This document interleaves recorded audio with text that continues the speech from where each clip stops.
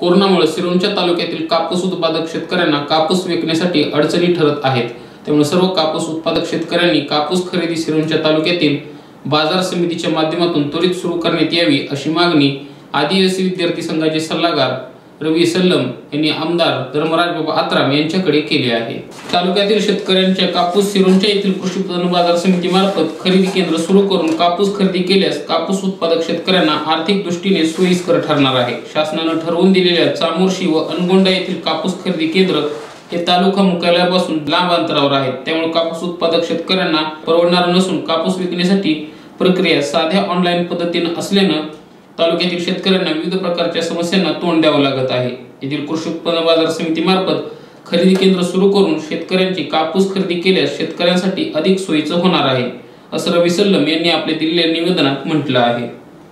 Shyam Bejanwar Star Maharashtra news Sironcha